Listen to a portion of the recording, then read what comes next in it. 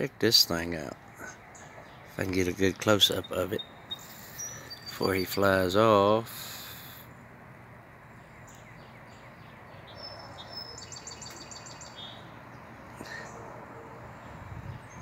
Wow.